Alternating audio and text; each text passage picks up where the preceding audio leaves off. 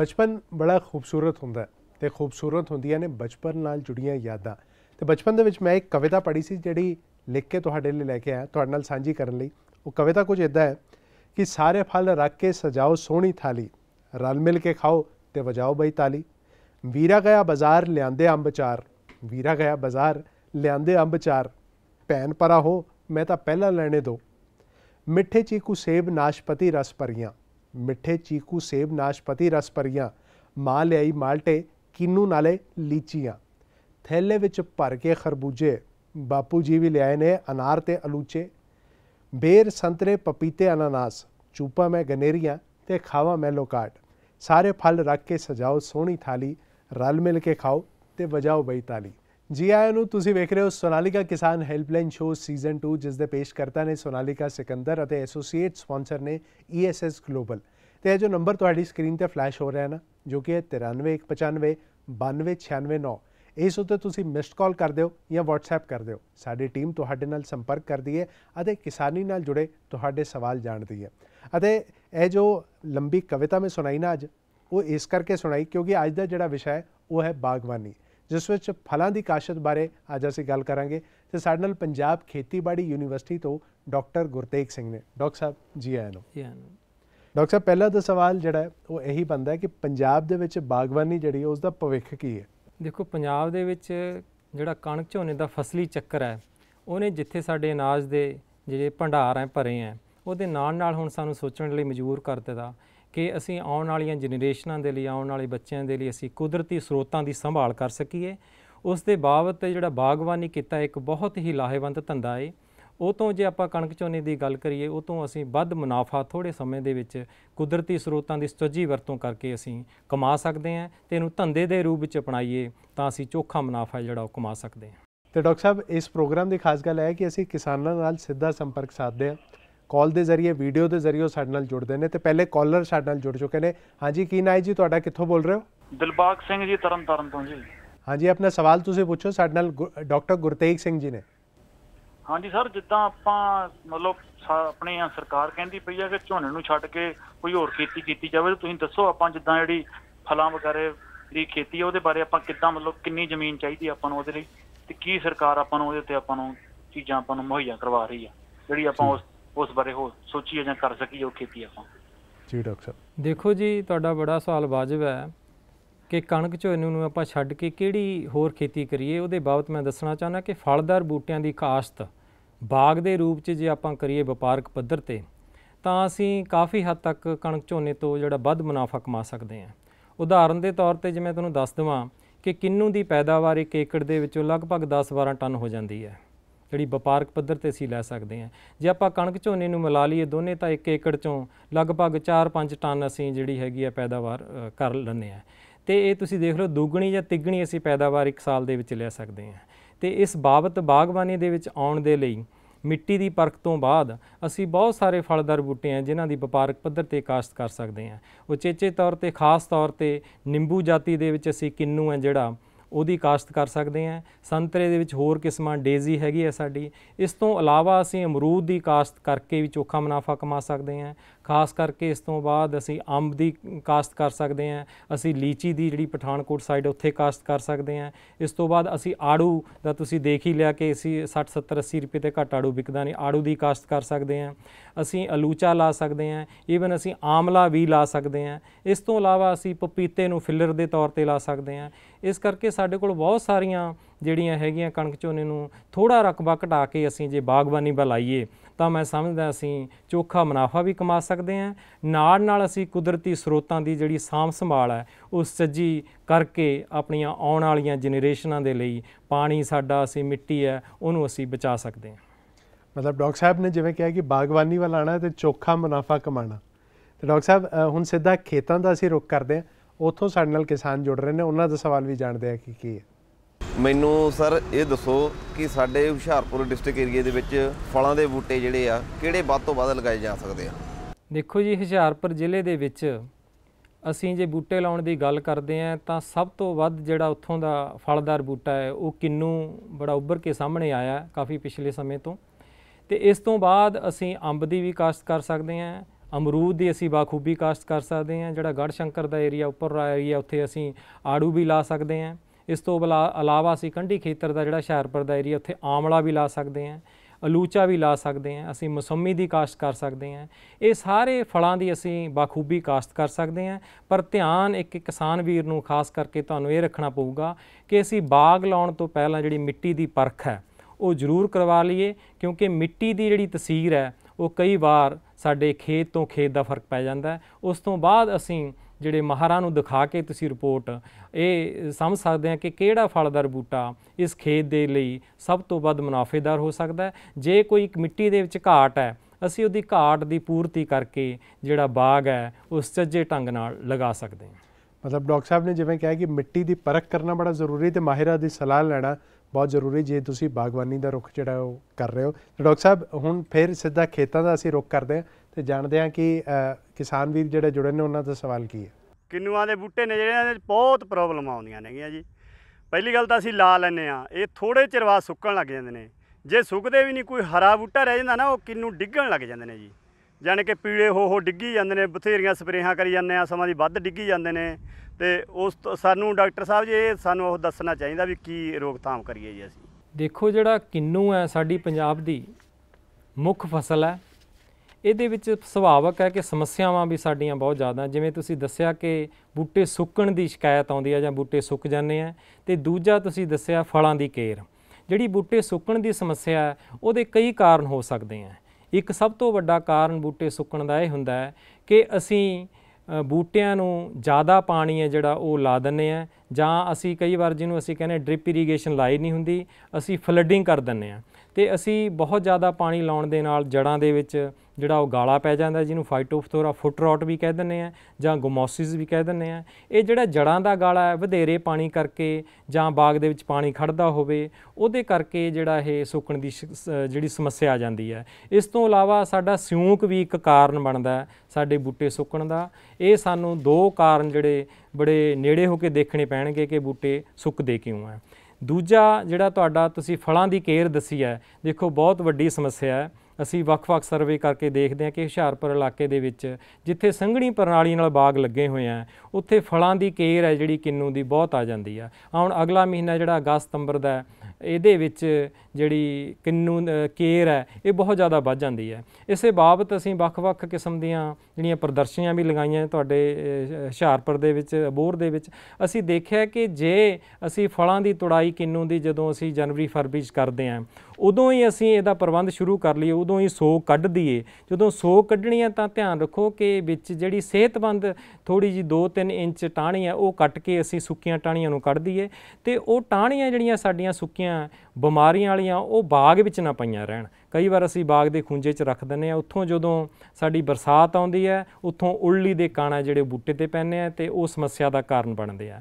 ਇਹਨਾਂ ਦੇ ਰੋਕਥਾਮ ਦੇ ਲਈ ਅਸੀਂ ਬਹੁਤ ਤਰ੍ਹਾਂ ਦੀਆਂ ਪਹਿਲਾਂ ਦਵਾਈਆਂ ਤੁਹਾਨੂੰ ਜਿਹੜੀਆਂ ਪੈਸਟੀਸਾਈਡ ਇਨਸੈਕਟੀਸਾਈਡ ਫੰਜੀਸਾਈਡ ਦੱਸੀਆਂ ਤੀਆਂ, ਉਹ ਭਾਵੇਂ ਕਿ ਬਹੁਤ ਸਾਰੀਆਂ ਹੁਣ ਸਰਕਾਰ ਨੇ ਬੈਨ ਕਰਤੀਆਂ। ਹੁਣ ਅਸੀਂ ਤੁਹਾਨੂੰ ਪਿਛਲੀ ਜਿਹੜੀ ਪੰਜਾਬ ਖੇਤੀਬਾੜੀ ਯੂਨੀਵਰਸਿਟੀ ਬਹੁਤ ਲੰਮੇ ਸਮੇਂ ਤੋਂ ਇਹ ਕਹਿ ਰਹੀ ਹੈ ਕਿ ਬੋਡੋ ਮਿਸ਼ਰਣ ਜੇ ਅਸੀਂ ਤਿਆਰ ਕਰ ਲਈਏ ਆਪਣੇ ਖੇਤ ਵਿੱਚ, ਆਪਣੇ ਘਰ ਵਿੱਚ ਤਾਂ ਉਹ ਬਹੁਤ ਵਧੀਆ ਉਲਲੀ ਨਾਸ਼ਕ ਸਿੱਧ ਹੁੰਦਾ ਹੈ। ਬੋਡੋ ਮਿਸ਼ਰਣ ਬੜਾ ਸੌਖਾ ਤਿਆਰ ਕਰਨਾ। 2 ਕਿਲੋ ਨੀਲੋ ਥੋਥਾ ਤੇ 2 ਕਿਲੋ ਜਿਹੜਾ ਚੂਨਾ ਹੈ ਅਣਬੁੱਝਿਆ ਚੂਨਾ। ਦੋਨਾਂ ਨੂੰ 125 25 ਲੀਟਰ ਚ ਵੱਖ-ਵੱਖ ਢੋਲਾਂ ਚ ਬਣਾ ਲਈਏ ਆਪਾਂ। ਤੇ ਜਦੋਂ ਉਹ ਤਿਆਰ ਹੋ ਜਵੇ, ਚੂਨੇ ਵਾਲਾ ਪਾਣੀ ਪੁਣ ਕੇ, ਅਸੀਂ ਇੱਕ ਢੋਲ ਚ 250 ਲੀਟਰ ਪਾਣੀ ਇਕੱਠਾ ਕਰ ਲਈਏ ਤੇ ਉਹਨੂੰ ਪੁਣ ਕੇ, ਜੇ ਆਪਾਂ ਉਹਨੂੰ ਫਰੈਸ਼ ਵਰਤੀਏ, ਇੱਕ ਤਾਂ ਕਾਂਡ ਛਾਣ ਤੋਂ ਬਾਅਦ ਫਰਵਰੀ ਮਾਰਚ ਦੇ ਵਿੱਚ। ਦੂਜਾ ਅਸੀਂ ਬਰਸਾਤਾਂ 'ਚ ਜਦੋਂ ਧੁੱਪ ਧੇਰ ਲੱਗੀ ਹੋਵੇ ਉਦੋਂ ਵਰਤੀਏ ਤਾਂ ਕਾਫੀ ਹੱਦ ਤੱਕ ਜਿਹੜੀ ਉਲਲੀ ਹੈ ਸਾਡੀ ਉਹ ਬਾਗਾਂ 'ਚੋਂ ਭੱਜ ਜਾਂਦੀ ਹੈ ਤੇ ਕੇਰ ਦੀ ਸਮੱਸਿਆ ਜਿਹੜੀ ਅਸੀਂ 40-50% ਤੱਕ ਰੋਕ ਸਕਦੇ ਹਾਂ। ਦੂਜਾ ਧਿਆਨ ਰੱਖਿਆ ਜਾਵੇ ਕਿ ਜਿਹੜੀ ਵੀ ਕੇਰ ਅਸੀਂ ਰੋਕਣੀ ਹੈ, ਬਾਗ ਦੇ ਵਿੱਚ ਸਾਫ਼ ਸਫ਼ਾਈ ਹੈ ਜਿਹੜਾ, ਉਹ ਚੇਚੇ ਤੌਰ ਤੇ ਸਾਨੂੰ ਕਰਨੀ ਪਊਗੀ। ਨਹੀਂ, ਇਹ ਸਮੱਸਿਆ ਜਿਹੜੀ ਸਾਲਾਂ ਭਰ ਸਾਲਾਂ ਚੱਲਦੀ ਰਹਿੰਦੀ ਹੈ। ਸਫ਼ਾਈ ਵੱਲ ਧਿਆਨ ਦਿਓ ਤੇ ਉਲਲੀ ਨਾਸ਼ਕ ਜਿਹੜੀ ਬੋਡੋ ਮਿਸ਼ਰਣ ਹੈ ਉਹਨੂੰ ਅਸੀਂ ਆਪਣੇ ਬਾਗ ਦੇ ਵਿੱਚ ਕਰੀਏ। ਧਿਆਨ ਰੱਖੋ, ਬੋਡੋ ਮਿਕਸਚਰਨ ਹਮੇਸ਼ਾ ਨਵਾਂ ਬਣਾ ਕੇ ਸਪਰੇਅ ਕਰਨਾ ਹੈ। ਤੀਜੀ ਗੱਲ, ਜਿਹੜੀ ਮਈ, ਜੂਨ ਦੇ ਵਿੱਚ, ਗਰਮੀ ਦੇ ਵਿੱਚ ਬੋਡੋ ਮਿਸ਼ਰਣ ਆਪਾਂ ਬੂਟੇ ਤੇ ਨਾ ਕਰੀਏ, ਇਸ ਤਰੀਕੇ ਨਾਲ ਅਸੀਂ ਕਾਫੀ ਹੱਦ ਤੱਕ ਜਿਹੜਾ ਫਲਾਂ ਦੀ ਕੇਰ ਹੈ, ਉਹ ਰੋਕ ਸਕਦੇ ਹਾਂ। ਇੱਥੇ ਵੇਲਾ ਇੱਕ ਛੋਟੇ ਜਿਹੇ ਬ੍ਰੇਕ ਦਾ ਹੈ। ਬ੍ਰੇਕ ਤੋਂ ਬਾਅਦ ਸਵਾਲਾਂ ਦਾ ਤੇ ਜਵਾਬਾਂ ਦਾ ਸਿਲਸਿਲਾ ਇਸੇ ਤਰ੍ਹਾਂ ਜਾਰੀ ਰਹੇਗਾ। ਤੁਸੀਂ ਵੇਖਦੇ ਰਹੋ ਸੋਨਾਲੀਕਾ ਕਿਸਾਨ ਹੈਲਪਲਾਈਨ ਸ਼ੋ ਸੀਜ਼ਨ 2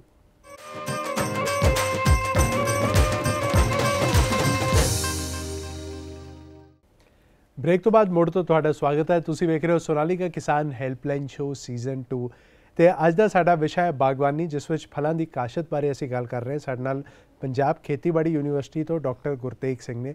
ਡਾਕਟਰ ਸਾਹਿਬ ਇੱਕ ਕਾਲਰ ਹੋਰ ਸਾਡੇ ਨਾਲ ਜੁੜ ਗਏ ਨੇ।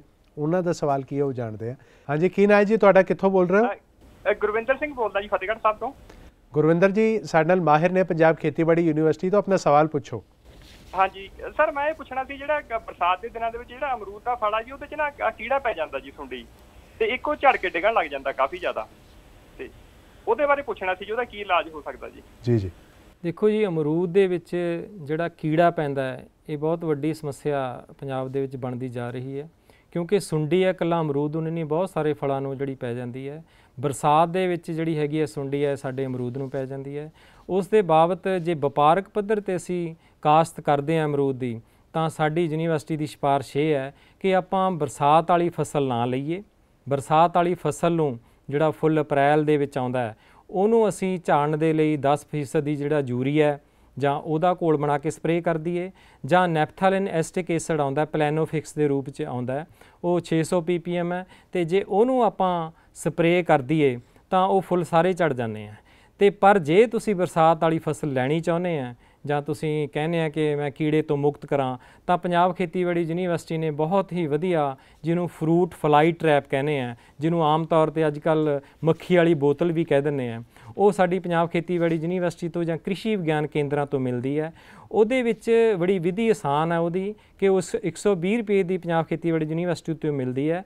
ਅਸੀਂ 6-7 ਫੁੱਟ ਤੇ ਉਹਨੂੰ ਹੱਥ ਦੇ ਨਾਲ ਆਪਣੇ ਰੱਸੀ ਲੱਗੀ ਹੋਈ ਹੈ। ਉਹਨੂੰ ਅਸੀਂ ਇੱਕ ਬੂਟੇ ਤੇ ਟੰਗ ਦੇਣਾ ਹੈ ਤੇ 5-7 ਬੂਟਿਆਂ ਦੇ ਲਈ ਇੱਕ ਬੋਤਲ ਜਿਹੜੀ ਉਹ ਮਤਲਬ ਪੂਰਾ ਕੰਟਰੋਲ ਕਰ ਲੈਂਦੀ ਹੈ। ਜੇ ਆਪਾਂ ਗੱਲ ਕਰੀਏ ਉਹ ਮੱਖੀ ਦੇ ਵਿੱਚ ਕੀ ਕਰਦੀ ਹੈ ਉਹ ਜਿਹੜਾ ਅ, ਮੇਲ ਮੱਖੀਆਂ ਜਿਹੜੀਆਂ ਨਰ ਮੱਖੀਆਂ ਉਹਨਾਂ ਨੂੰ ਆਪਣੇ ਵੱਲ ਖਿੱਚ ਲੈਂਦੀ ਹੈ ਤੇ ਉਹ ਬੋਤਲ ਦੇ ਵਿੱਚ ਫਸ ਜਾਂਦੇ ਆ। ਜਿਹੜੀਆਂ ਸਾਡੀਆਂ ਮਾਦਾ ਮੱਖੀਆਂ ਉਹ ਬਾਹਰ ਰਹਿ ਜਾਂਦੀਆਂ, ਉਹਦੇ ਨਾਲ ਜਨਨ ਕਿਰਿਆ ਰੁਕ ਜਾਂਦੀ ਹੈ ਉਹਨਾਂ ਦੀ ਤੇ ਸਾਡਾ ਜਿਹੜਾ ਮੱਖੀ ਦਾ ਕੰਟਰੋਲ ਹੋ ਜਾਂਦਾ ਹੈ। ਇਹ ਮੈਂ ਦੱਸਣਾ ਚਾਹੁੰਦਾ ਕਿ 40 ਤੋਂ 50% ਦੀ ਅਸੀਂ ਦੇਖਿਆ ਕਿ ਕੰਟਰੋਲ ਕਰ ਸਕਦੀਆਂ ਪਰ ਪੂਰਾ ਕੰਟਰੋਲ ਰਹਿਣ ਦੇ ਲਈ ਸਾਨੂੰ ਜਿਹੜੀਆਂ ਵੀ ਫਲ ਸਾਡੇ ਨੀਚੇ ਗਿਰਦੇ ਆ, ਉਹਨਾਂ ਦੇ ਵਿੱਚ ਮੱਖੀਆਂ ਹੁੰਦੀਆਂ, ਉਹਨਾਂ ਨੂੰ ਚੁੱਕ ਕੇ ਜੇ ਹੋ ਸਕੇ ਤਾਂ 2.5 ਫੁੱਟ ਡੂੰਘੇ ਟੋਏ 'ਚ ਸਾਨੂੰ ਦੱਬਣਾ ਪਊਗਾ। ਜੇ ਅਸੀਂ ਨਹੀਂ ਦੱਬਦੇ ਤਾਂ ਉਹ ਮੱਖੀਆਂ ਮੁੜ ਕੇ ਨਿਕਲ ਕੇ, ਉਹ ਮੁੜ ਕੇ ਉਹਨਾਂ ਦੀ ਜਿਹੜੀ ਕਿਰਿਆ ਸ਼ੁਰੂ ਹੋ ਜਾਂਦੀ ਹੈ ਤੇ ਉਹਦੇ ਨਾਲ ਫਿਰ ਉਹ ਡੰਗ ਮਾਰਦੀਆਂ ਤੇ ਸ- ਫਲ ਦੇ ਵਿੱਚ ਜਿਹੜੀ ਮੱਖੀ ਛੇਦ ਕਰਕੇ ਆਂਡੇ ਦਿੰਦੀ ਹੈ ਤੇ ਉਹ ਮੱਖੀ ਵਾਲਾ ਸਰਕਲ ਚੱਲਦਾ ਰਹਿੰਦਾ ਹੈ। ਇਸ ਕਰਕੇ ਮੈਂ ਤੁਹਾਨੂੰ ਸਲਾਹ ਦਿੰਦਾ ਜੇ ਤੁਸੀਂ ਬਰਸਾਤੂ ਫਸਲ ਲੈਣੀ ਚਾਹੁੰਦੇ ਆ ਤਾਂ ਫਰੂਟ ਫਲਾਈ ਟ੍ਰੈਪ ਜ਼ਰੂਰ ਟੰਗੋ। ਉਹਦੇ ਨਾਲ ਕਾਫੀ ਹੱਦ ਤੱਕ ਬਾਗ ਦੇ ਥੱਲੇ ਸਾਫ਼ ਸਫ਼ਾਈ ਰੱਖੋ। ਕਾਫੀ ਹੱਦ ਤੱਕ ਜਿਹੜਾ ਅਮਰੂਦ ਦੀ ਮੱਖੀ ਦੀ ਜਿਹੜਾ ਉਹ ਆਪਾਂ ਕੰਟਰੋਲ ਕਰ ਸਕਦੇ ਹਾਂ ਜੀ। ਜਿਵੇਂ ਗੁਰਿੰਦਰ ਜੀ, ਡਾਕਟਰ ਸਾਹਿਬ ਨੇ ਕਿਹਾ ਕਿ ਜੋ ਹਦਾਇਤਾਂ ਦਿੱਤੀਆਂ ਨੇ, ਉਹਨਾਂ ਦਾ ਧਿਆਨ ਤੁਸੀਂ ਕਰੋ ਤੇ ਤੁਹਾਡੇ ਅਮਰੂਦ ਦੇ ਵਿੱਚ ਕੀੜਾ ਜਿਹੜਾ, ਉਹ ਕਦੇ ਨਹੀਂ ਲੱਗੇਗਾ ਤੇ ਇਸ ਦੇ ਨਾਲ ਹੀ ਡਾਕਟਰ ਸਾਹਿਬ ਸਿੱਧਾ ਖੇਤਾਂ ਦਾ ਰੁਖ ਕਰਦੇ ਆ। ਉੱਥੋਂ ਹੀ ਕਿਸਾਨ ਸਾਡੇ ਨਾਲ ਜੁੜ ਰਹੇ ਨੇ ਆਪਣੇ ਸਵਾਲ ਦੇ ਨਾਲ। ਮੈਂ ਇੱਕ ਆ ਨਿੰਬੂਆਂ ਦੀ ਜਿਹੜੀ ਖੇਤੀ ਕਰਨੀ ਚਾਹੁੰਦਾ ਤੇ ਉਹਦੇ ਲਈ ਮੈਂ ਇੱਕ ਦੁਬਿਧਾ ਦੇ ਵਿੱਚ ਆ ਕਿ ਜਿਹੜੇ ਪ੍ਰਾਈਵੇਟ ਕੰਪਨੀਆਂ ਤੋਂ ਨਿੰਬੂਆਂ ਦੇ ਬੂਟੇ ਲੈ ਕੇ ਖੇਤੀ ਕਰਨੀ ਲਾਭਦਾਇਕ ਹੈ ਜਾਂ ਨਹੀਂ? ਉਹ ਜਿਹੜੇ ਲਾਏ ਬੂਟੇ ਕਾਮਯਾਬ ਹੁੰਦੇ ਹਨ ਜਾਂ ਨਹੀਂ ਦੇਖੋ, ਬਹੁਤ ਵਧੀਆ ਸਵਾਲ ਹੈ ਕਿ ਅਸੀਂ ਹਰ ਰੋਜ਼ ਕਾਫੀ ਕਾਲਸ ਜਿਹੜੀਆਂ ਲੈਂਦੇ ਆ ਕਿ ਜਿਹੜਾ ਨਿੰਬੂ ਦੇ ਤੌਰ ਤੇ 12 ਮਾਸੀ ਨਿੰਬੂ ਦੇ ਤੌਰ ਤੇ ਕਹਿ ਕੇ ਪ੍ਰਾਈਵੇਟ ਕੰਪਨੀਆਂ, ਖਾਸ ਕਰਕੇ ਸੰਗਰੂਰ ਮਰੇਰਕੋਟਲਾ ਇਹ ਤੋਂ ਬੜੇ ਫੋਨ ਆਉਂਦੇ ਆ ਕਿ ਅਸੀਂ ਬਾਗ ਲਾ ਦਿੰਨੇ ਆ ਤੇ ਉਹ ਪਹਿਲੇ ਜਾਂ ਦੂਏ ਸਾਲ ਕਹਿੰਦੇ ਆ ਕਲੇਮ ਕਰਦੇ ਆ ਕਿ ਫਲ ਆ ਜਾਂਦਾ ਹੈ। ਤੇ ਜਦੋਂ ਸਚਾਈ ਇਹ ਹੈ ਕਿ ਦੂਏ ਸਾਲ ਫਲ ਤਾਂ ਆ ਜਾਂਦਾ ਪਰ ਜਿਹੜਾ ਫਲ ਪੱਕਦਾ ਹੈ, ਉਹ ਜਾ ਕੇ ਨਵੰਬਰ, ਅਕਤੂਬਰ ਜਾਂ ਦਸੰਬਰ ਚ ਪੱਕਦਾ ਉਦੋਂ ਸਾਡੀ ਮਾਰਕੀਟਿੰਗ ਦੀ ਬਹੁਤ ਵੱਡੀ ਸਮੱਸਿਆ ਆਉਂਦੀ ਹੈ, ਕਿਉਂਕਿ ਸਾਨੂੰ ਨਿੰਬੂ ਹੈ ਜਿਹੜਾ, ਉਹ ਅਪ੍ਰੈਲ, ਮਈ, ਜੂਨ ਦੇ ਵਿੱਚ ਜਾਂ ਜੁਲਾਈ ਤੱਕ ਸਾਨੂੰ ਚਾਹੀਦਾ ਹੈ। ਇਸੇ ਬਾਬਤ ਮੈਂ ਸੁਨੇਹਾ ਦੇਣਾ ਚਾਹੁੰਦਾ ਕਿ ਪੰਜਾਬ ਖੇਤੀਬਾੜੀ ਯੂਨੀਵਰਸਿਟੀ ਇਹ ਸਿਫਾਰਿਸ਼ ਕਰਦੀ ਹੈ ਕਿ ਕਿਸਾਨ ਵੀਰੋ, ਕਿਸੇ ਵੀ ਤਰ੍ਹਾਂ ਦੀ ਪ੍ਰਾਈਵੇਟ ਸੰਸਥਾ ਤੋਂ ਕਿਸੇ ਵੀ ਤਰ੍ਹਾਂ ਦੇ ਲਾਲਚ ਵਿੱਚ ਆ ਕੇ ਇਹ ਨਿੰਬੂਆਂ ਦੇ ਬਾਗ ਨਾ ਲਗਾਓ ਪੰਜਾਬ ਖੇਤੀਬਾੜੀ ਯੂਨੀਵਰਸਿਟੀ ਬੜੀ ਵਧੀਆ ਦੋ ਕਿਸਮਾਂ ਜਿਹੜੀਆਂ ਦਿੱਤੀਆਂ ਹੈ ਉਹਦੇ ਵਿੱਚ ਇੱਕ ਤਾਂ ਪੰਜਾਬ ਬਾਰਾਮਾਸੀ ਨਿੰਬੂ ਹੈ ਇੱਕ ਪੀਏਯੂ ਬਾਰਾਮਾਸੀ ਨਿੰਬੂ ਹੈ ਤੇ ਤੀਜੀ ਸਾਡੀ ਕਾਗਜ਼ੀ ਨਿੰਬੂ ਹੈ ਇਹ ਤਿੰਨ ਜਿਹੜੀਆਂ ਕਿਸਮਾਂ ਅਸੀਂ ਸਿਫਾਰਿਸ਼ ਕਰਦੇ ਹਾਂ ਇਹਨਾਂ ਤਿੰਨਾਂ ਨੂੰ ਜੇ ਅਸੀਂ ਲਾਈਏ ਮਾਹਰਾਂ ਦੀ رائے ਲੈ ਕੇ ਮੈਂ ਸਮਝਦਾ ਕਿ ਅਸੀਂ ਚੋਖਾ ਮੁਨਾਫਾ ਕਮਾ ਸਕਦੇ ਹਾਂ ਉਹਨਾਂ ਕੰਪਨੀਆਂ ਦੇ ਝਾਂਸੇ ਵਿੱਚ ਨਾ ਫਸੀਏ ਕਿਉਂਕਿ ਉਹ ਜਿਹੜੇ ਬੂਟੇ ਆ ਉਹ ਬੀਜ ਤੋਂ ਹੀ ਪੈਦਾ ਕਰਕੇ ਜਾਂ ਯੂਪੀ ਜਾਂ ਮਹਾਰਾਸ਼ਟਰ ਤੋਂ ਲੈ ਕੇ ਇੱਥੇ 2-200 ਰੁਪਏ ਦਾ ਬੂਟਾ ਲਾਉਨੇ ਆ ਤੇ ਉਹਦੇ ਨਾਲ ਜਿਹੜਾ ਕਿਸਾਨ ਵੀਰਾਂ ਨੂੰ ਬਹੁਤ ਦਿੱਕਤ ਆਉਂਦੀ ਹੈ ਤੀਏ ਚੌਥੇ ਸਾਲ ਜਦੋਂ ਸਾਡਾ ਫਲ ਨਹੀਂ ਵਿਕਦਾ ਜਦੋਂ ਫਲ ਸਾਡਾ ਨਹੀਂ ਪੱਕਦਾ ਉਦੋਂ ਫਿਰ ਅਸੀਂ ਪਛਤਾਉਂਦੇ ਆ ਮੈਂ ਵੀਰਾਂ ਨੂੰ ਅਪੀਲ ਕਰਦਾ ਕਿ ਮਾਰ ਦੀ رائے ਲੈ ਕੇ ਪੰਜਾਬ ਖੇਤੀਬਾੜੀ ਯੂਨੀਵਰਸਿਟੀ ਦੀਆਂ ਸਿਫਾਰਸ਼ ਕੀਤੀਆਂ ਕਿਸਮਾਂ ਹੀ ਜਿਹੜਾ ਵਪਾਰਕ ਪੱਧਰ ਤੇ ਉਹ ਲਗਾਈਆਂ ਜਾਣ ਜੀ ਤੇ ਇਸ ਦੇ ਨਾਲ ਹੀ ਡਾਕਟਰ ਸਾਹਿਬ ਇੱਕ ਹੋਰ ਕਾਲਰ ਨੇ ਜੋ ਸਾਡੇ ਨਾਲ ਜੁੜ ਗਏ ਨੇ ਆਪਣੇ ਸਵਾਲ ਦੇ ਨਾਲ ਉਹਨਾਂ ਦਾ ਸਵਾਲ ਵੀ ਜਾਣਦੇ ਹਾਂ। ਹਾਂਜੀ ਕੀ ਨਾਂ ਹੈ ਜੀ? ਤੁਹਾਡਾ ਕਿੱਥੋਂ ਬੋਲ ਰਹੇ ਹੋ ਤੁਸੀਂ? ਸਰ ਜੀ ਮੇਰਾ ਨਾਮ ਰਾਮ ਸਿੰਘ ਹੈ। ਡਿਸਟ੍ਰਿਕਟ ਮੇਰਾ ਗੁਰਦਾਸਪੁਰ ਲਾਗੇ ਧਾਰੀਵਾਲ ਸ਼ਹਿਰ ਦੇ ਲਾਗੇ ਮੇਰਾ ਪਿੰਡ ਬਾਲਿਆ ਜੀ। ਰਾਮ ਸਿੰਘ ਜੀ ਆਪਣਾ ਸਵਾਲ ਪੁੱਛੋ। ਹਾਂਜੀ ਸਰ ਮੈਂ ਲੀਚੀ ਦੇ ਬਾਗ ਬਾਰੇ ਤੁਹਾਨੂੰ ਪੁੱਛਣਾ ਚਾਹੁੰਦਾ ਸਰ ਜੀ। ਮੈਂ ਲੀਚੀ ਦੇ ਬਾਗ ਦੇ ਬਾਰੇ ਮੈਂ ਪਲਾਨ ਕੀਤਾ ਹੋਇਆ ਸੀ। ਦੇਖੋ, ਲੀਚੀ ਦੇ ਬਾਗ ਲਗਾਉਣ ਦੀ ਵਿਧੀ ਮੈਂ ਪਹਿਲਾਂ ਜਿਵੇਂ ਦੱਸੀ ਹੈ ਕਿ ਮਿੱਟੀ ਦੀ ਪਰਖ ਤੋਂ ਬਾਅਦ ਸਾਨੂੰ ਪਤਾ ਲੱਗ ਜਾਂਦਾ ਹੈ ਕਿ ਲੀਚੀ ਦੇ ਬਾਗ ਲਗਾਉਣ ਲਈ ਇਹ ਜਿਹੜਾ ਖੇਤ ਹੈ ਜਾਂ ਜ਼ਮੀਨ ਹੈ, ਕਾਬਲ ਹੈ ਜਾਂ ਨਹੀਂ। ਜੇ ਕੋਈ ਘਾਟ ਬਾਦ ਆ ਅਸੀਂ ਉਹਦੇ ਵਿੱਚ ਲੋੜੀਂਦੀ ਜਿਹੜੀ ਖਾਦ ਖੁਰਾਕ ਪਾ ਕੇ ਉਹਨੂੰ ਪੂਰਤੀ ਕਰ ਸਕਦੇ ਹਾਂ। ਲੀਚੀ ਦੇ ਬਾਗ ਲਈ ਸਭ ਤੋਂ ਟੁਕਮਾ ਸਮਾਂ ਜਿਹੜਾ ਹੁਣ ਚੱਲ ਰਿਹਾ ਹੈ, ਸਮਝ ਲਓ ਵੀ ਅਗਸਤ, ਸਤੰਬਰ, ਅਕਤੂਬਰ ਤੱਕ ਅਸੀਂ ਲੀਚੀ ਦਾ ਬਾਗ ਹੈ ਜਿਹੜਾ ਉਹ ਲਗਾ ਸਕਦੇ ਹਾਂ। ਲੀਚੀ ਦੇ ਬਾਗ ਦੀ ਇੱਕ ਖਾਸ ਗੱਲ ਹੈ ਕਿ ਸਾਡੇ ਕੋਲ ਤਿੰਨ ਕਿਸਮਾਂ ਜਿਹੜੀਆਂ ਪੰਜਾਬ ਖੇਤੀਬਾੜੀ ਯੂਨੀਵਰਸਿਟੀ ਨੇ ਸਿਫਾਰਿਸ਼ ਕੀਤੀਆਂ ਹੋਈਆਂ। ਇੱਕ ਦੇਹਰਾਦੂਨ ਕਿਸਮ ਹੈ, ਜਿਹੜੀ ਥੋੜੀ ਜਿਹੀ ਅਗੇਤੀ ਕਿਸਮ ਹੈ। ਇਸ ਤੋਂ ਬਾਅਦ ਸਾਡੀ ਕਲਕੱਤੀ ਹੈ ਤੇ ਇੱਕ ਸੀਡਲੈਸ ਹੈ। ਇਹ ਤਿੰਨ ਕਿਸਮਾਂ ਦੀ ਅਸੀਂ ਬਾਖੂਬੀ ਜਿਹੜਾ ਕਾਸ਼ਤ ਕਰ ਸਕਦੇ ਹਾਂ।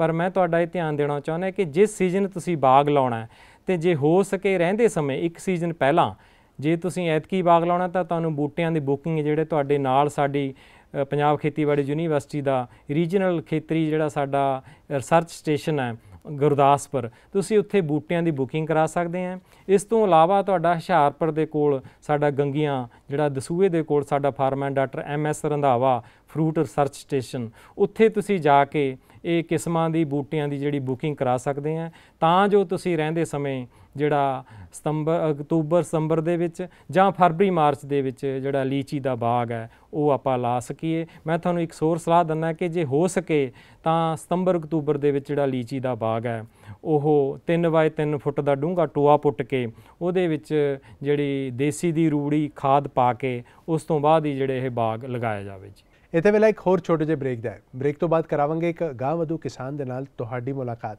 ਤੁਸੀਂ ਵੇਖਦੇ ਰਹੋ ਸੋਨਾਲੀਕਾ ਕਿਸਾਨ ਹੈਲਪਲਾਈਨ ਸ਼ੋ ਸੀਜ਼ਨ 2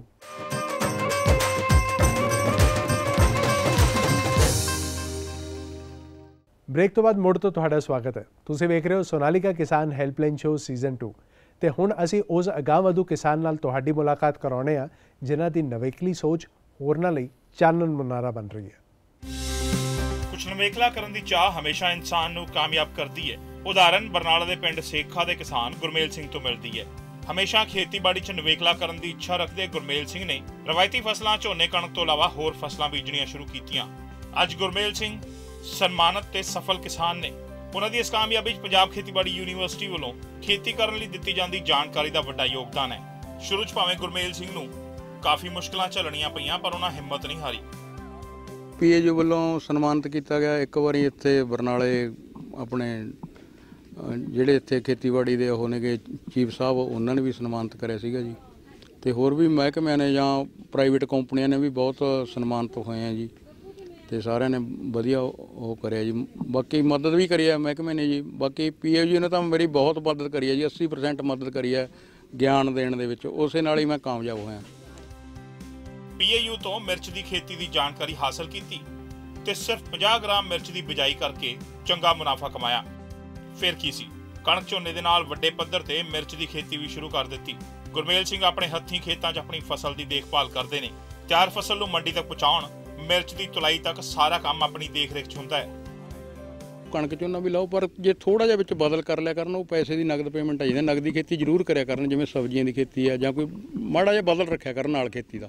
ਪਹਿਲਾਂ ਥੋੜਾ ਕਰ ਲਓ, ਮੁਨਾਫਾ ਥੋੜਾ ਹੁੰਦਾ, ਫਿਰ ਹੌਲੀ ਹੌਲੀ ਇਹ ਨਾ ਹੋਵੇ ਵੀ ਤੁਸੀਂ 1 ਸਾਲ ਲਾ ਕੇ ਛੱਡਤਾ ਹੁਣ ਸਾਡੇ ਜਿਵੇਂ ਮਿਰਚ ਆ ਇੱਥੇ 150 ਕਿੱਲਾ ਪਿੰਡ ਦੇ ਵਿੱਚ ਲੱਗਿਆ ਹੋਇਆ ਤੇ ਉਹ ਸਾਰਾ ਇੱਥੇ ਮਾਰਕੀਟ ਪੈਦਾ ਹੋਈ ਹੈ, ਕਰੀ ਹੈ ਜੀ। ਪਹਿਲਾਂ ਅਸੀਂ ਧੱਕੇ ਖਾਂਦੇ ਹੁੰਦੇ, ਕਿਤੇ ਜਲੰਧਰ ਲੈ ਜਾਂਦੇ, ਕਦੇ ਲੁਧਿਆਣੇ ਜਾਂ ਕਿਸੇ ਪਾਸੇ ਨੂੰ ਕੋਈ ਭਾਜਦਾ। ਹੁਣ ਛੋਟਾ ਜ਼ਿਮੀਦਾਰ ਕਿੱਥੋਂ ਲੈ ਜੀ ਗੱਡੀ ਕਰਕੇ? ਅੱਜ ਛੋਟਾ ਜ਼ਿਮੀਦਾਰ ਵੀ ਜਿਹਦੇ 2 ਵਿਗੇ ਮਿਰਚ ਲਾਈ ਹੋਈ ਹੈ ਜੀ, ਰਾਮਨਾ ਸਾਹਿਬ ਨੂੰ ਪ- ਪੈਸੇ ਫੜ ਕੇ ਲੈ ਜਾਂਦਾ ਜੀ ਮਿਰਚ ਪਾ ਕੇ। ਹਾਂਜੀ ਵੀ ਇਸ ਕਰਕੇ ਵੀ ਯਾਨੀ ਥੋੜੇ ਥੋੜੇ ਨਾਲ ਬਦਲ ਕਰਨਾ ਚਾਹੀਦਾ ਹੈਗਾ ਵੀ ਗੁਰਮੇਲ ਸਿੰਘ ਝੋਨੇ ਦੀ ਵਾਢੀ ਮਗਰੋਂ ਪਰਾਲੀ ਨੂੰ ਮਿੱਟੀ 'ਚ ਰਲਾ ਕੇ ਕਣਕ ਦੀ ਫਸਲ ਦੀ ਬਿਜਾਈ ਕਰ ਰਹੇ ਨੇ। ਪਹਿਲੇ ਸਾਲ ਉਹਨਾਂ ਵੱਲੋਂ ਕੀਤਾ ਇਹ ਤਜਰਬਾ ਸਫਲ ਰਿਹਾ ਤੇ ਫਸਲ ਦੀ ਪੈਦਾਵਾਰ ਵੀ ਬਿਹਤਰ ਹੋਈ। ਇਹ ਸਫਲ ਕਿਸਾਨ ਖੇਤੀ ਦੇ ਨਾਲ ਚੰਗੇ ਬੀਜ ਤਿਆਰ ਕਰਨ ਦਾ ਕੰਮ ਵੀ ਕਰਦਾ ਹੈ। ਗਾਜਰ, ਗੋਭੀ, ਮੂਲੀ, ਪਾਲਕ ਦੇ ਬੀਜ, ਜਿਨ੍ਹਾਂ ਦੀ ਪੈਕਿੰਗ ਕੰਪਨੀਆਂ ਨੂੰ ਵੀ ਭੇਜੀ ਜਾਂਦੀ ਹੈ। ਗੁਰਮੇਲ ਸਿੰਘ ਹਰ ਤਰ੍ਹਾਂ ਦੀਆਂ ਮੌਸਮੀ ਸਬਜ਼ੀਆਂ ਤੇ ਫਲਾਂ ਦੀ ਖੇਤੀ ਕਰਕੇ ਚੰਗਾ ਮੁਨਾਫਾ ਕਮਾ ਰਹੇ ਨੇ। ਚਾਰ ਪੰਜ ਬੰਦੇ ਨੇ ਸ਼ੁਰੂ ਕਰਕੇ ਜੀ ਮਿਰਚ ਵੇਚਣੀ ਸ਼ੁਰੂ ਕੀਤੀ। ਫਿਰ ਕੁਝ ਫਾਰਮਰ ਹੋਰ ਵੀ ਜੁੜ ਗਏ, ਪਨੀਰੀ ਵੇਚਣੀ ਸ਼ੁਰੂ ਕਰਤੀ ਮਿਰਚ ਦੀ। ਉਹ ਵੇਚੀ ਜੀ। ਮਿਰਚ ਦੀ ਪਨੀਰੀ ਵੇਚੀ ਵਧੀਆ, ਉਹ 'ਚੋਂ ਵੀ ਵਧੀਆ ਪੈਸਾ ਕਮਾਇਆ, ਮੇਰੇ ਦੋਸਤਾਂ ਨੇ ਵੀ ਕਮਾਇਆ, ਸਾਰਿਆਂ ਨੇ ਸਣੀ ਰਲ ਮਿਲ ਕੇ ਵਧੀਆ ਹੋਇਆ ਜੀ। ਬਸ ਉਦੋਂ ਬਾਅਦ ਤਾਂ ਫਿਰ ਚੱਲ ਸੋ ਚੱਲ ਚੱਲੀ ਗਿਆ ਜੀ ਕੰਮ ਕਦੇ ਫੁੱਲਾਂ ਦਾ, ਫਿਰ ਉਦੋਂ ਬਾਅਦ ਸਾਡਾ ਹੁਣ ਸੀਡ ਸੀਡ ਦਾ ਹੋ ਗਿਆ ਜੀ। ਗਾਜਰ ਦਾ, ਮੂਲੀ ਦਾ, ਗੋਭੀ ਦਾ, ਪਾਲਕ ਦਾ, ਸਾਰੇ ਅਸੀਂ ਸੀਡ ਵੀ ਤਿਆਰ ਕਰਕੇ ਕੰਪਨੀ ਨੂੰ ਭੇਜ ਰਹੇ ਹਾਂ। ਪੀਏਯੂ ਵੱਲੋਂ ਉન્નਤ ਖੇਤੀ ਬਾਰੇ ਦਿੱਤੀ ਜਾਂਦੀ ਜਾਣਕਾਰੀ ਦਾ ਲਾਹਾ ਲੈਣਾ, ਖੁਦ ਆਪਣੀ ਹਿੰਮਤ ਤੇ ਸੂਝ-ਬੂਝ ਦੇ ਆਸਰੇ ਟਿਕੇ ਰਹਿਣਾ ਗੁਰਮੇਲ ਸਿੰਘ ਨੂੰ ਸਫਲ ਕਿਸਾਨ ਬਣਾ ਗਿਆ। ਇਸ ਇੱਕ ਉਦਾਹਰਣ ਨੂੰ ਵੇਖ ਕੇ ਜੇ ਹੋਰ ਕਿਸਾਨ ਵੀ ਰਵਾਇਤੀ ਖੇਤੀ ਦਾ ਢੰਗ ਬਦਲਣ ਜਾਂ ਘੱਟੋ-ਘੱਟ ਕੁਝ ਨਵੀਆਂ ਫਸਲਾਂ ਜੋੜ ਲੈਣ, ਤਾਂ ਹੀ ਸੂਬੇ ਦੀ ਡੁੱਬਦੀ ਕਿਸਾਨੀ ਬਚ ਸਕਦੀ ਹੈ। Bureau report, PTC news, Barnala. ਬਾ ਕਮਾਲ ਹੈ ਨਵੇਕਲੀ ਸੋਚ। ਤੇ ਹੁਣ ਤੁਸੀਂ ਆਪਣੇ ਸੋਨਾਲੀਕਾ ਟਰੈਕਟਰ ਦੀ ਸਾਮ ਸੰਭਾਲ ਕਿਵੇਂ ਕਰ ਸਕਦੇ ਹੋ? ਇਸ ਲਈ ਪੇਸ਼ ਨੇ ਟਿਪਸ ਫਾਰ ਟਰੈਕਟਰ। ਟਰੈਕਟਰ ਦੇ ਵਿੱਚ ਇੰਜਨ ਦੀ ਸਿਹਤ ਦਾ ਧਿਆਨ ਰੱਖਣਾ ਬੇहद ਜ਼ਰੂਰੀ ਹੈ ਅਤੇ ਉਸ ਦੇ ਲਈ ਜ਼ਰੂਰੀ ਹੈ ਇੰਜਨ ਨੂੰ ਸਹੀ ਖੁਰਾਕ ਦੇਣਾ। ਜੀ ਹਾਂ, ਅਸੀਂ ਗੱਲ ਕਰ ਰਹੇ ਹਾਂ ਇੰਜਨ ਆਇਲ ਦੀ, ਜਿਸ ਨੂੰ ਲੈ ਕੇ ਕਈ ਤਰ੍ਹਾਂ ਦੀਆਂ ਸਾਵਧਾਨੀਆਂ ਵਰਤਣ ਦੀ ਲੋੜ ਹੁੰਦੀ ਹੈ ਤੇ ਅੱਜ ਅਸੀਂ ਤੁਹਾਨੂੰ ਉਹਨਾਂ ਬਾਰੇ ਦੱਸਾਂਗੇ। ਸਭ ਤੋਂ ਪਹਿਲੀ ਸਾਵਧਾਨੀ, ਇੰਜਨ ਆਇਲ ਦੇ ਲੈਵਲ ਦੀ ਜਾਂਚ ਸਹੀ ਢੰਗ ਨਾਲ ਕਰਨੀ ਜ਼ਰੂਰੀ ਹੈ। ਇਸ ਦੇ ਲਈ ਟਰੈਕਟਰ ਨੂੰ ਸਮਤਲ ਥਾਂ ਤੇ ਖੜਾ ਕਰਕੇ ਡਿਪ ਸਟਿਕ ਦੀ ਮਦਦ ਦੇ ਨਾਲ ਚੈੱਕ ਕਰੋ। ਅਤੇ ਫਿਰ ਲੋੜੀਂਦੇ ਲੈਵਲ ਤੱਕ ਆਇਲ ਪਾਓ। ਜਦੋਂ ਵੀ ਇੰਜਨ ਆਇਲ ਦਾ ਪੱਧਰ ਲੋੜ ਨਾਲੋਂ ਘੱਟ ਹੋਵੇ, ਤਾਂ ਇੰਜਨ ਦਾ ਇਸਤੇਮਾਲ ਨਾ ਕਰੋ। ਇੰਜਨ ਆਇਲ ਫਿਲਟਰ ਨੂੰ ਬਦਲਣ ਦੇ ਲਈ ਟਰੈਕਟਰ ਨੂੰ ਸਮਤਲ ਜ਼ਮੀਨ ਤੇ ਖੜਾ ਕਰਕੇ ਡਰੇਨ ਪਲੱਗ ਹਟਾਉਣ ਮਗਰੋਂ ਆਇਲ ਪੈਨ ਵਿੱਚ ਇੰਜਨ ਆਇਲ ਕੱਢੋ। ਆਇਲ ਫਿਲਟਰ ਨੂੰ ਕੱਢ ਕੇ ਨਵਾਂ ਆਇਲ ਫਿਲਟਰ ਅਤੇ ਗੈਸਕਟ ਵਿੱਚ ਇੰਜਨ ਆਇਲ ਪਾਓ। ਜਦੋਂ ਫਿਲਟਰ ਗੈਸਕਟ ਫਿਲਟਰ ਦੇ ਉੱਪਰਲੇ ਹਿੱਸੇ ਦੇ ਸੰਪਰਕ ਵਿੱਚ ਆਵੇ, ਤਾਂ ਆਇਲ ਫਿਲਟਰ ਨੂੰ ਬੰਦ ਕਰ ਦਿਓ। ਦੁਬਾਰਾ ਇੰਜਨ ਆਇਲ ਪਾਉਣ ਦੌਰਾਨ ਧਿਆਨ ਰੱਖਣਾ ਚਾਹੀਦਾ ਹੈ ਕਿ ਪਹਿਲੇ 50 ਘੰਟਿਆਂ ਦੇ ਬਾਅਦ ਹੀ ਇੰਜਨ ਆਇਲ ਬਦਲਣਾ ਚਾਹੀਦਾ ਹੈ। ਇਸ ਦੇ ਬਾਅਦ ਹਰ ਸਰਵਿਸ ਵਿੱਚ ਇੰਜਨ ਆਇਲ ਬਦਲੋ। ਇੰਜਨ ਦੇ ਗਰਮ ਹੋਣ ਤੇ ਤੇਲ ਨੂੰ ਕੱਢ ਲਓ ਅਤੇ ਟਰੈਕਟਰ ਨੂੰ ਸਮਤਲ ਥਾਂ ਤੇ ਖੜਾ ਕਰ ਡਰੇਨ ਪਲੱਗ ਕੱਢੋ। ਜਦੋਂ ਟਰੈਕਟਰ ਠੰਡਾ ਹੋ ਜਾਵੇ ਤਾਂ ਡਰੇਨ ਪਲੱਗ ਨੂੰ ਲਗਾ ਕੇ 3.5 nm ਟੋਰਕ ਤੱਕ ਕਸੋ। ਆਇਲ ਫਿਲਟਰ ਦੇ ਜ਼ਰੀਏ ਤੇਲ ਭਰੋ ਜਦੋਂ ਤੱਕ ਕਿ ਡਿਪਸਟਿਕ ਦੇ ਮੈਕਸਿਮਮ ਲੈਵਲ ਤੱਕ ਨਾ ਪਹੁੰਚੇ। ਤੇਲ ਲੀਕ ਦੇ ਲਈ ਆਇਲ ਪੈਨ ਅਤੇ ਹੋਰ ਪਾਰਟਸ ਦੀ ਜਾਂਚ ਨਿਰੰਤਰ ਕਰੋ। ਅੱਜ ਦੇ ਪ੍ਰੋਗਰਾਮ ਵਿੱਚ ਫਿਲਹਾਲ ਇੰਨਾ ਹੀ। ਇਹ ਜੋ ਨੰਬਰ ਤੁਹਾਡੀ ਸਕਰੀਨ ਤੇ ਫਲੈਸ਼ ਹੋ ਰਿਹਾ ਨਾ ਜੋ ਕਿ ਹੈ 9319592969 ਇਸ ਉਤੇ ਮਿਸਡ ਕਾਲ ਕਰਨੀ ਜਾਂ WhatsApp ਕਰਨਾ ਨਾ ਭੁੱਲਿਓ। ਸਾਡੀ ਟੀਮ ਤੁਹਾਡੇ ਨਾਲ ਸੰਪਰਕ ਕਰੇਗੀ ਅਤੇ ਕਿਸਾਨੀ ਨਾਲ ਜੁੜੇ ਤੁਹਾਡੇ ਸਵਾਲ ਜਾਣੇਗੀ। ਡਾਕਟਰ ਸਾਹਿਬ ਬਹੁਤ ਬਹੁਤ ਧੰਨਵਾਦ ਤੁਹਾਡਾ। ਥੈਂਕ ਯੂ ਅਗਲੇ ਹਫ਼ਤੇ ਮੁੜ ਲੈ ਕੇ ਹਾਜ਼ਰ ਹੋਵਾਂਗੇ। ਸੋਨਾਲੀਕਾ ਕਿਸਾਨ ਹੈਲਪਲਾਈਨ ਸ਼ੋ ਸੀਜ਼ਨ 2 ਜਿਸ ਦੇ ਪੇਸ਼ਕਰਤਾ ਨੇ ਸੋਨਾਲੀਕਾ ਸਿਕੰਦਰ ਅਤੇ ਐਸੋਸੀਏਟ ਸਪਾਂਸਰ ਨੇ ESS ਗਲੋਬਲ। ਦਿਓ ਇਜਾਜ਼ਤ, ਰੱਬ ਰੱਖਾ।